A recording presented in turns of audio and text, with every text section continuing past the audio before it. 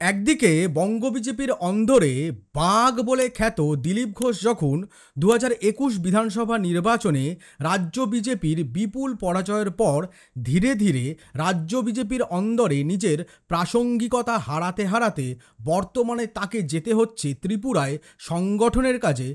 ঠিক সেই পর্যায়ই এবার তৃণমূল কংগ্রেসে বাঘ বলে খ্যাত, বিশেষ করে বীরভূমের বাঘ বলে খ্যাত অনুব্রত মণ্ডল, গরুপাচার কাণ্ডে যিনি অন্যতম অভিযুক্ত হিসাবে গত দু বছর ধরে তিহার জেলে ছিলেন বন্দী সেই অনুব্রত মণ্ডল যখন তিহার জেল থেকে সোমবার অবশেষে বেরোলেন, তখন স্বভাবতই বীরভূম জুড়ে শুধুই শোনা যাচ্ছে চরাম চরাম ঢাকের বাদ্যি। অনুব্রত মণ্ডলের অনুগামীরা তাদের প্রিয় কেষ্টদাকে বীরভূমের মাটিতে দুবছর পর ফের স্বাগত জানাতে তৈরি করেছে ইতোমধ্যেই সুদীর্ঘ বড় বড় তোরণ।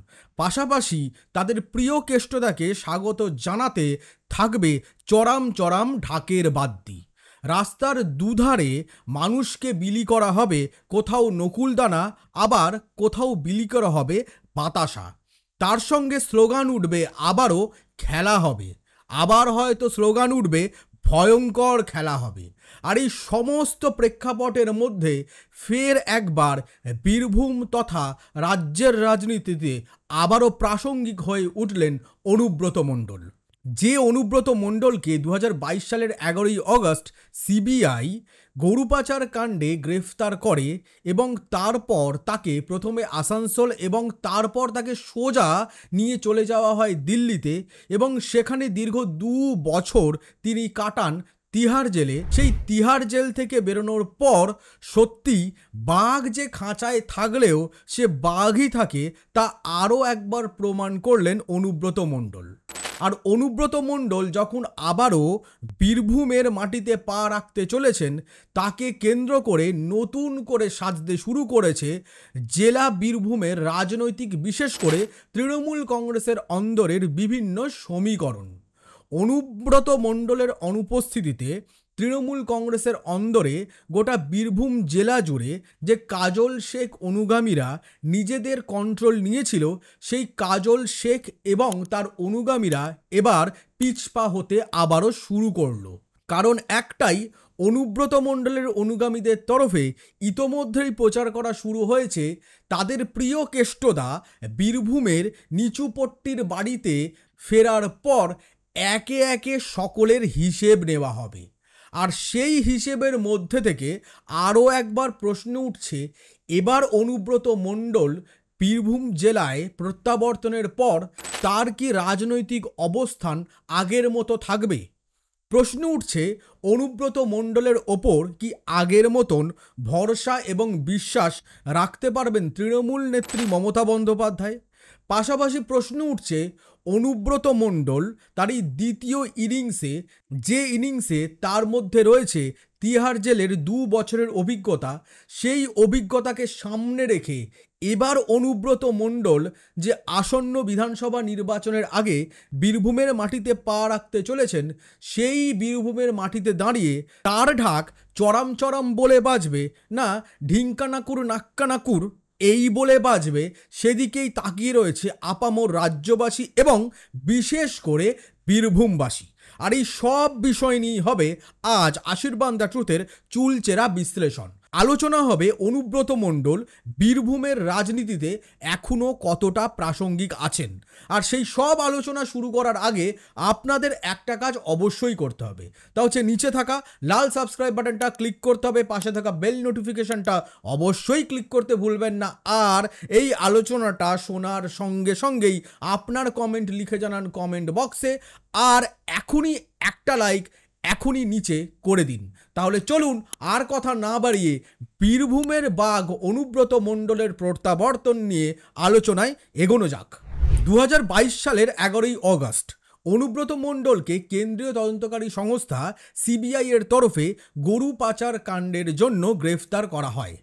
অভিযোগ ওঠে যে সীমান্ত দিয়ে বিএসএফের কিছু অসাধু সীমান্তরক্ষী বাহিনীকে ঘুষ দিয়ে, অর্থাৎ টাকার বিনিময়ে রাতের অন্ধকারে যে গরু পাচার চলে, সেই গোটা পাচারের মূল মাথায় ছিলেন তৎকালীন বীরভূম জেলার তৃণমূলের জেলা সভাপতি অনুব্রত মণ্ডল, যাকে রাজ্যের এবং তৃণমূল কংগ্রেসের আপামর সদস্য সমর্থকেরা কেষ্ট দা নামেই চেনেন। দু হাজার বাইশের এগারোই অগাস্ট এই গরু পাচার কাণ্ডকে কেন্দ্র করেই যখন সিবিআই অনুব্রত মণ্ডলকে গ্রেফতার করে, তারপরই রাজ্যের মুখ্যমন্ত্রী তথা তৃণমূল দলনেত্রী মমতা বন্দ্যোপাধ্যায় বলেছিলেন যে, অনুব্রত মণ্ডলকে গ্রেপ্তার করা হয়েছে, তার পেছনে রয়েছে ষড়যন্ত্র।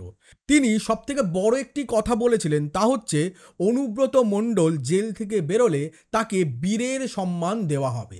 আর সেই বীরের সম্মান দিতেই এবার গোটা বীরভূম জেলায় সাজো সাজো রব। গত বিশে সেপ্টেম্বর শুক্রবার যখন দিল্লির রাউস অ্যাভিনিউ কোর্টে অবশেষে এই গরু পাচার কাণ্ডের সঙ্গে যে আর্থিক অনৈতিকতার অভিযোগে ইডির তরফেও অনুব্রত মণ্ডলকে গ্রেফতার করা হয়েছিল, সেই ইডির মামলায় জামিন দেয় দিল্লির রাউস অ্যাভিনিউ কোর্ট। শর্ত রাখা হয় দশ লক্ষ টাকার বন্ডে তাকে জামিন দেওয়া হবে।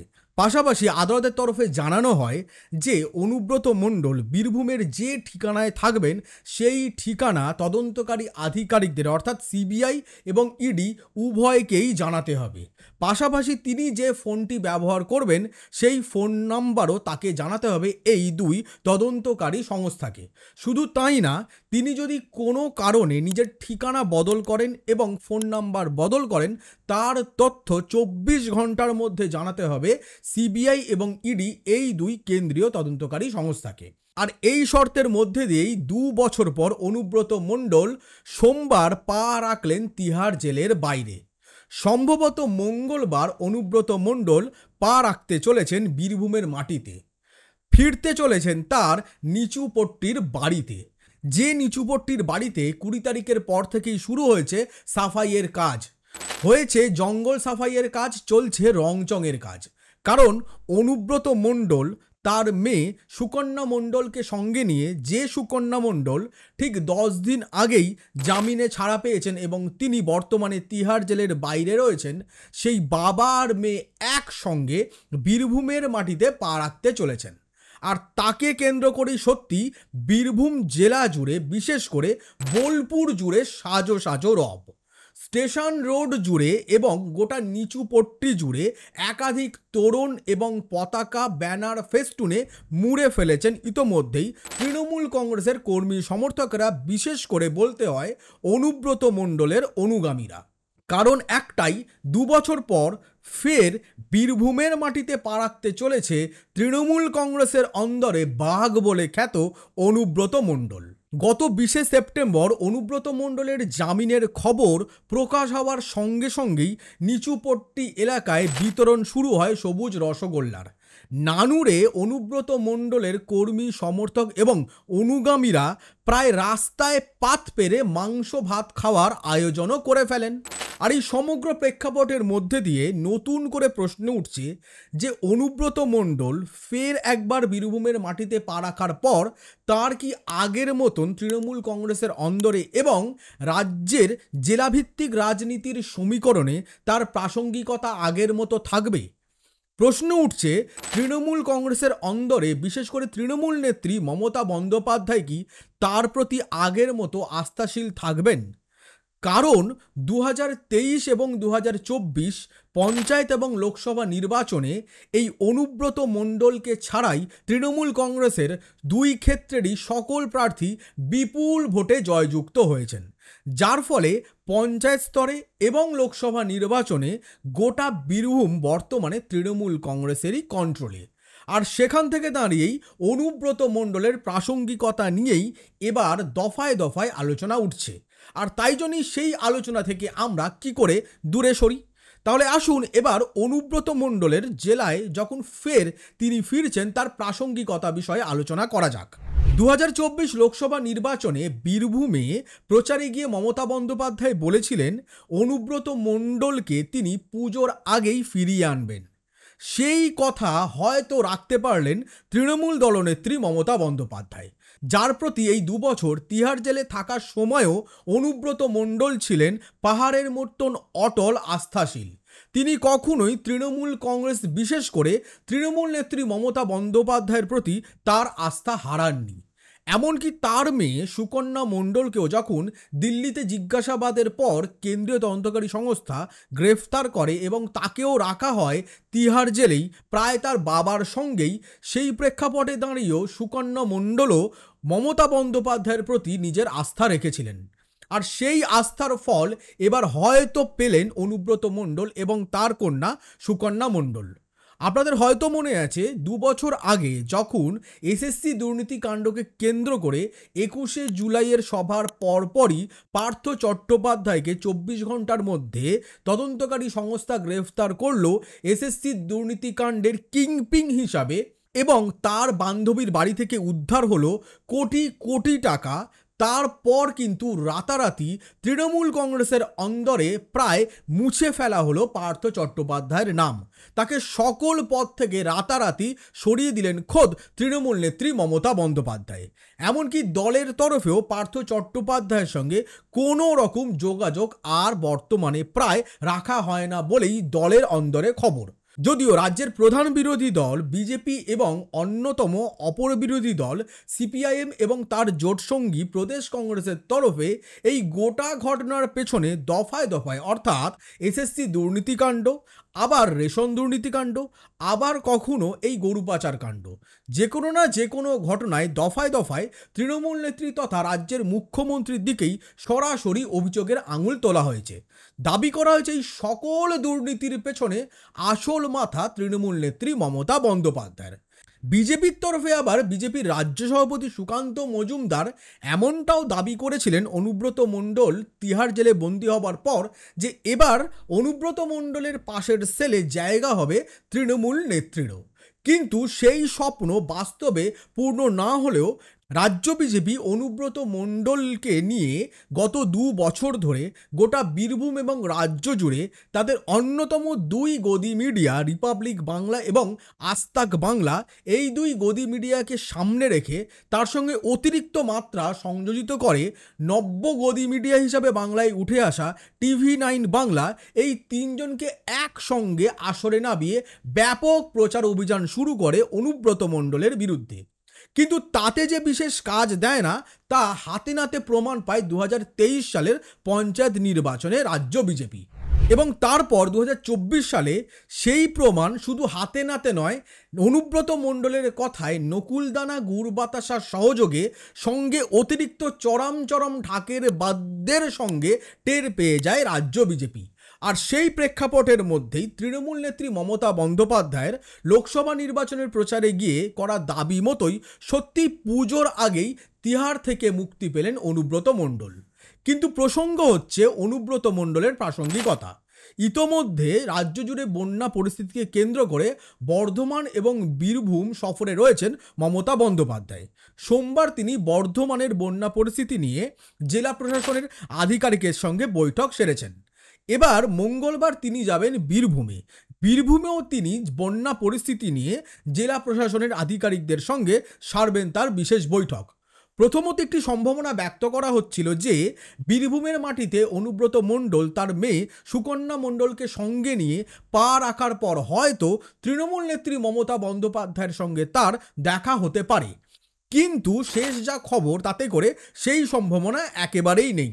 তৃণমূল নেত্রী মমতা বন্দ্যোপাধ্যায় বীরভূম সফরে আছেন তৃণমূল নেত্রী হিসাবে নন।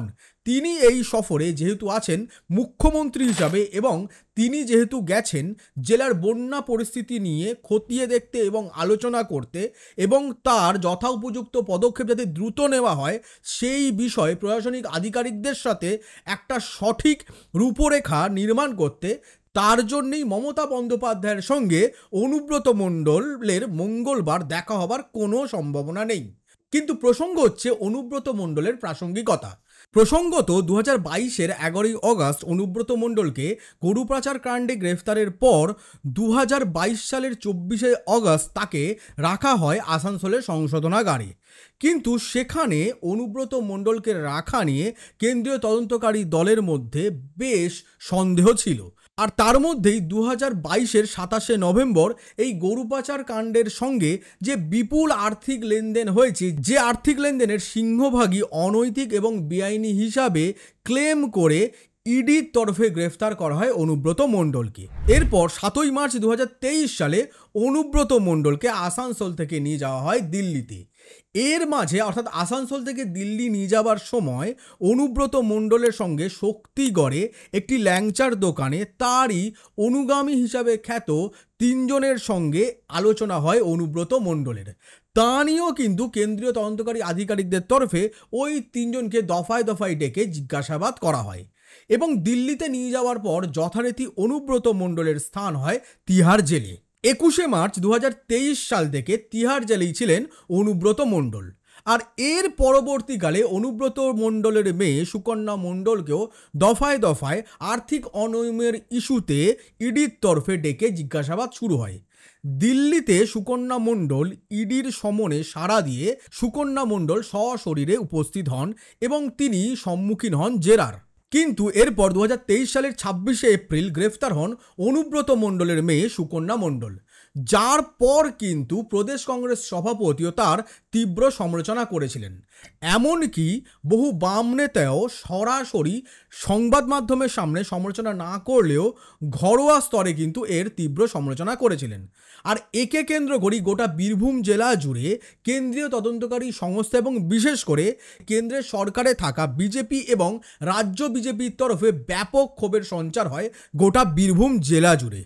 কিন্তু রাজ্য বিজেপি সেই ক্ষোভ হয়তো অনুভব করতে পারে না। রাজ্য বিজেপি ভেবেছিল যেহেতু পঞ্চায়েত নির্বাচনের আগেই অনুব্রত মণ্ডল তিহার জেলে বন্দী হয়ে গেছেন, তাহলে পঞ্চায়েত ভোটে রাজ্য বিজেপি ব্যাপক ফলাফল করতে চলেছে বীরভূমের মাটিতে। কিন্তু সে স্বপ্ন দুঃস্বপ্নে পরিণত হয়। বীরভূমের মাটিতে বিজেপি শোচনীয় পরাজয়ের সম্মুখীন হয় পঞ্চায়েত নির্বাচনে। কিন্তু তারপর আসে চব্বিশের লোকসভা নির্বাচন। এই সময়ও অনুপস্থিত ছিলেন অনুব্রত মণ্ডল। এবারেও রাজ্য বিজেপি এক্সপেক্ট করেছিল যে তারা আগের বারের চেয়ে অর্থাৎ দু হাজার উনিশের চেয়েও এবার তারা আসন সংখ্যা বাড়াতে পারবে। কিন্তু হিতে হয় বিপরীত। আসন সংখ্যা কমে এবং রাজ্যের শাসক দলের আসন সংখ্যা বেড়ে দাঁড়ায় উনতিরিশে। এবং দক্ষিণবঙ্গ জুড়ে রাজ্যের শাসক দল তৃণমূল কংগ্রেস ব্যাপক ফলাফল করে। আর তারপরেই অনুব্রত মণ্ডলের ফেরা প্রায় কিছুটাই নিশ্চিত হয়ে ওঠে। দু হাজার চব্বিশের তিরিশে জুলাই সিবিআইয়ের তরফে করা মামলা থেকে জামিন পান অনুব্রত মণ্ডল। তারপর দু হাজার চব্বিশের দশই সেপ্টেম্বর জামিন পান সুকন্যা মণ্ডল যার বিরুদ্ধে ইডির তরফে আর্থিক অনিয়মের অভিযোগ ছিল। আর তার ঠিক দশ দিনের মাথায় বিশে সেপ্টেম্বর জামিনে মুক্তি পান অনুব্রত মণ্ডল ইডির মামলা থেকে। আর তারপরেই নিশ্চিত হয়ে যায় যে এবার অনুব্রত মণ্ডল তিহারের বাইরে পা রাখতে চলেছেন। আর তারপরেই দফায় দফায় ওঠে তার প্রাসঙ্গিকতা নিয়ে প্রশ্ন। বীরভূমে অনুব্রত মণ্ডলের বিরুদ্ধ গোষ্ঠী হিসাবে কাজল শেখ বরাবরই অত্যন্ত চর্চিত একটি রাজনৈতিক ব্যক্তিত্ব।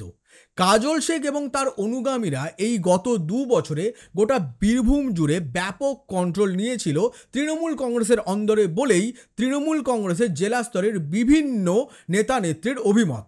কিন্তু কাজল শেখ বিশে সেপ্টেম্বর যখন অনুব্রত মণ্ডলের জামিনের খবর শুনলেন, তখন তাকে শুধু স্বাগতই জানালেন না, তিনি জানালেন যে অনুব্রত মণ্ডল অর্থাৎ তাঁর ভাষায় কেষ্টদা বীরভূমের রাজনীতিতে আগেও যেমন প্রাসঙ্গিক ছিলেন, গত দু বছরে ঠিক তিনি তেমনটাই প্রাসঙ্গিক ছিলেন এবং আগামী দিনে তিনি যখন ফিরছেন, তখন তিনি ততটাই এবং তার চেয়ে বেশি প্রাসঙ্গিক হয়ে উঠতে চলেছেন, যেহেতু সামনে রয়েছে বিধানসভা নির্বাচন। কাজল শেখ এবং তার অনুগামীদের সরাসরি যুক্তি, অনুব্রত মণ্ডল গ্রেফতার হবার পর তাকে কিন্তু তৃণমূল নেত্রী মমতা বন্দ্যোপাধ্যায় তাঁর জেলা সভাধিপতির পদ থেকে সরাননি।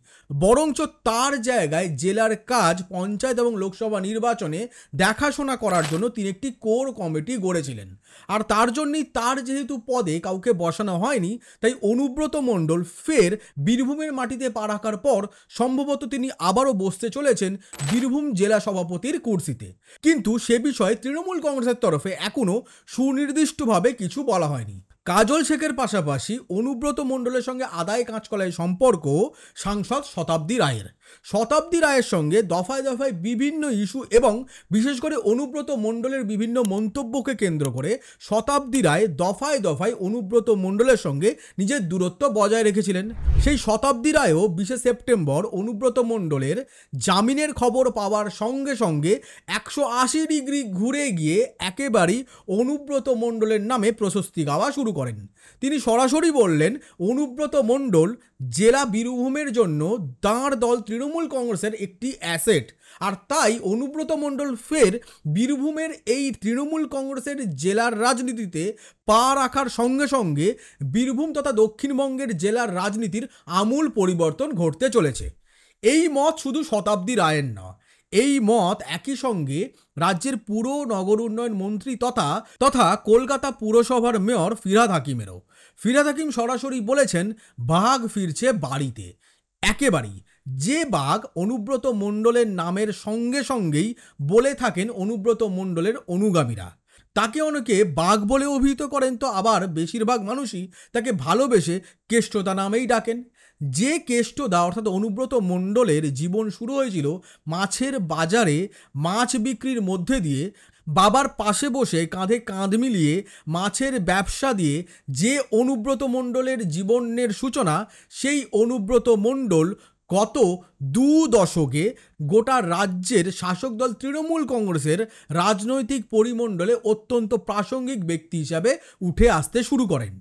মূলত নন্দীগ্রাম সিঙ্গুর আন্দোলনের প্রেক্ষাপটে দাঁড়িয়ে অনুব্রত মণ্ডল সরাসরি মমতা বন্দ্যোপাধ্যায়ের অত্যন্ত প্রিয়ভাজন একজন ব্যক্তিত্ব হিসাবে সামনে উঠে আসে। শুধু তাই না, অনুব্রত মণ্ডল দক্ষিণবঙ্গ বিশেষ করে বীরভূমের রাজনীতিতে শেষ কথা হয়ে ওঠেন। তাঁর একাধিক বিতর্কিত মন্তব্য, যার মধ্যে অত্যন্ত বিতর্কিত মন্তব্য হল নকুলদানা, গুড় বাতাসা, চরাম চরাম, ঢাকের বাদ্যি, খেলা হবে, আবার তিনি কখনো বলেছেন ভয়ঙ্কর খেলা হবে। আর সেই সবগুলো উক্তি দফায় দফায় বিভিন্ন নির্বাচনে হাতে নাতে প্রমাণও করেছিলেন অনুব্রত মণ্ডল।